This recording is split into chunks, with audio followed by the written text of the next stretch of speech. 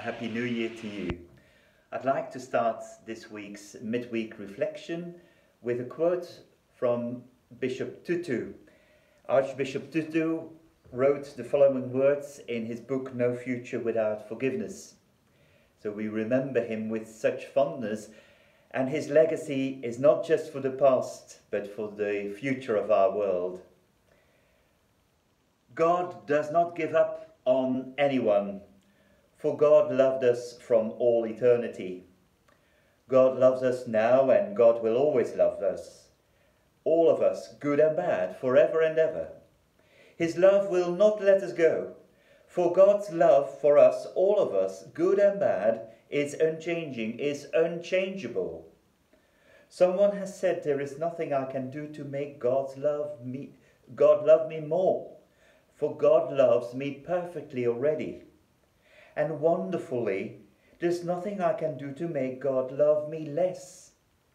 God loves me as I am to help me become all that I have in me to become. And when I realize the deep love God has for me, I will strive for love's sake to do what pleases my lover. Words from the late Archbishop Tutu.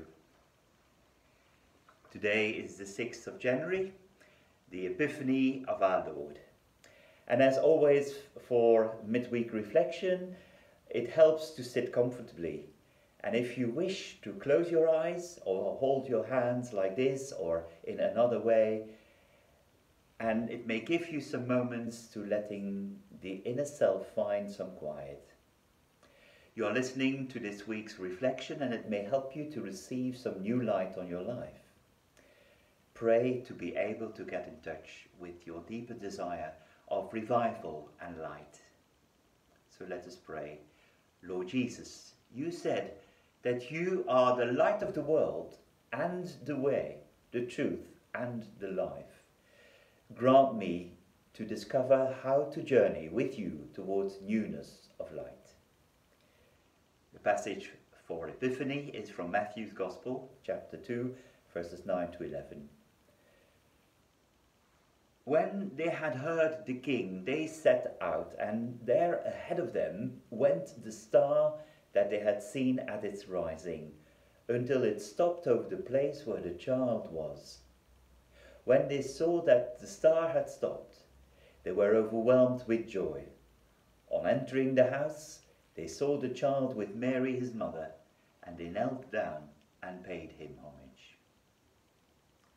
So, my dear friends, we come now to the climax of the journey of the Magi, to the moment when they find Jesus and worship him. The light of a star guided them to the small town of Bethlehem, stopping over the house where they discover Mary and Jesus. Notice that this stage of the journey was marked by great joy.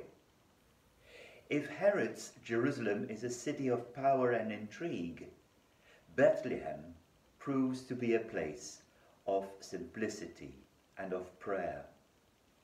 Thus, with deep consolation, the Magi arrive at the moment of adoration.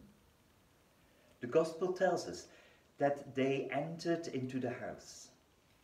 At long last, their wisdom has led them to discover the newborn King, the goal of their whole journey but did these searchers from the East understand the unique presence of God in this child?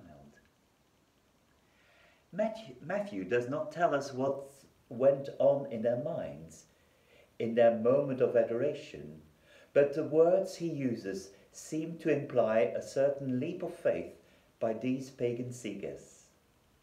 We are told that they fell down and worshipped him, or in other translations, they knelt and adored him. What is adoration? It is the highest form of prayer, where someone is overwhelmed by a sense of the glory and presence of God. In the Bible, it is associated with intense awareness of both the holiness and the closeness of God, and frequently the response is not just spiritual, but also physical the person falls prostrate on the ground as in Ezekiel's vision, or at the very end of Matthew's Gospel, where disciples fell down before the risen Lord. The Magi offer a similar gesture of silent veneration.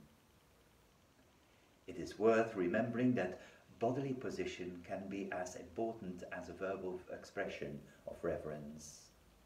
So again, sit comfortably, breathe calmly, and silently repeat some phrase as one imagines oneself there is there in the gospel scene.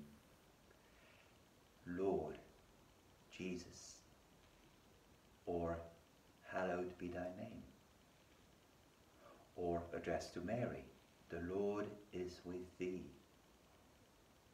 And do not forget to let the words quieten into a silence where the heart lost in wonder simply enjoys the presence of Jesus.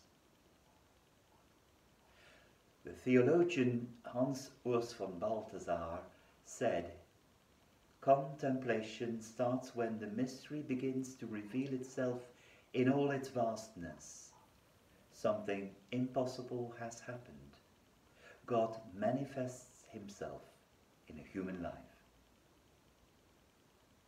So as you reflect at this time, have the courage to simplify the gaze of your heart before this epiphany of God's glory in Jesus.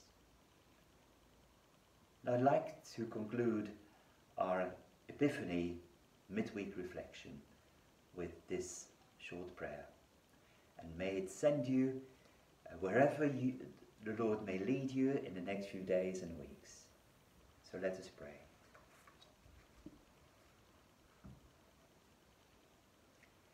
Creator of the heavens, who led the Magi by a star to worship the Christ child, guide and sustain us, that we may find our journey's end in Jesus Christ our Lord.